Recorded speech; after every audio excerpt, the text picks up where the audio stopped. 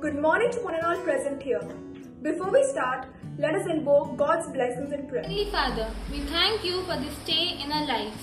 Today, enlighten our minds with truth, inflame our hearts with love, inspire our will with courage, enrich our life with service. We pray for this pandemic and the people suffering to heal them.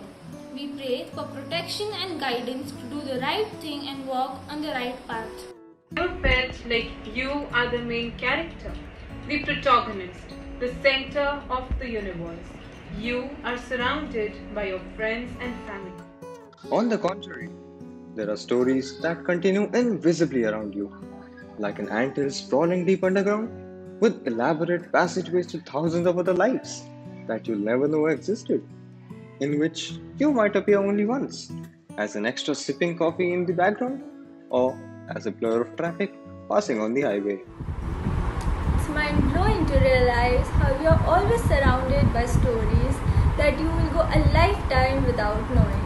So here's Class 11C presenting their class assembly on the topic Sonder. The realization that each random passerby is living a life as vivid and complex as your own. As I got ready to say goodbye to the place where I had spent my life, I turned around and saw the guard who had always been a constant in my life and whose name I didn't know. And I decided to go and say goodbye. He was around his 40s or 50s. He said, People usually look down on guards like him, thinking they were uneducated and couldn't have interesting lives. People pass by every single day without giving them second glances, without realizing they're human too, with exciting stories. As I look through the window of my new house, the scenery changes before my eyes. Was I the first person to listen to his story? Does he still work there? Does he remember me? There are billions out there with stories I will never know. I shall tell my story too, through my own fleeting life, and I hope somebody listens. Being teenagers, we are often self absorbed. Why are our minds now filled to the brim with our problems, nothing but ourselves? We all must learn to look beyond our lives. You will love the part of getting to know someone, how every piece of new information seems magical. Sit on a bench in a park. Put all your life and your problems away for a while and just observe the people around you. What are their names? What are they going through? What are their stories? It is a moment of looking around and seeing that the world is not about you, not even a little bit. This feeling of placing yourself squarely in the shoes of another to empathize with their story that you are not part of brings humility and awareness to all of us. You have no reason to judge someone you don't know. Everyone has their own little world. If we all understand that everybody have their own insecurities to face and goals to attain, then the world would be a gentler place. So don't wait to be kind. Don't wait for someone else to be kind first. Just be kind. People will forget what you said. People will forget what you did.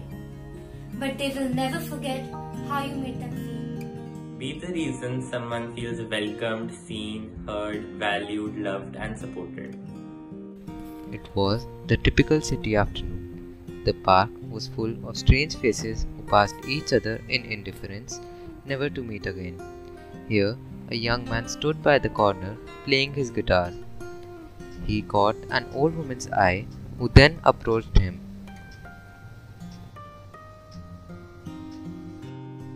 Are you a musician, son? I'm just an amateur, but it's always been my passion. The delighted old woman told him that she was part of a band in her youth.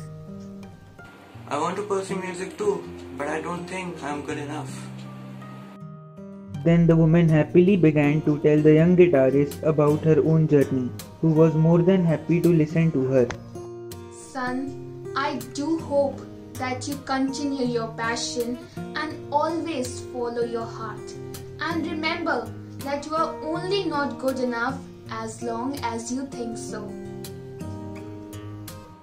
The old woman said, Good luck, and left, and the young musician sat there thinking about the strange old woman whose name he never asked, her touching words, and he knew he would never see her again. We are but a passing flash in many lives, but if we land a helping hand and a kind ear, we have the power to enhance the snippet of your life, however. So let us all be kind and sensitive. Let us choose to add a positive influence to several unknown faces we see in our lives. We are all an interconnected web of lives. You are a part of mine and I am a part of yours. Not a main character, but we can certainly try to be a memorable appearance. Whenever our paths cross, I shall pass you a smile, hoping that it will make your day better. Though long gone and forgotten, I hope you have a good life. The sonder reality of life is a blessing in a world of selfish ends, in a world that is so often dark. Be a light others can look to when the sky is no longer blue. Be kind because everyone you meet is fighting a hard battle. With this, Class 11C takes leave of you. Thank you. Good morning, my dear. Each passerby is living its own life, and their life is as vivid and complex as our life. This awareness is very important for us. We live in false reality that life is all about us only. But every single person has his own problems and own complexities which he or she has to overcome. The thousands of people meet us, but no one remembers us. Our small act of kindness or some beautiful words or love, they leave last long impression in their hearts. So always choose to be kind. Have a nice day. Good day.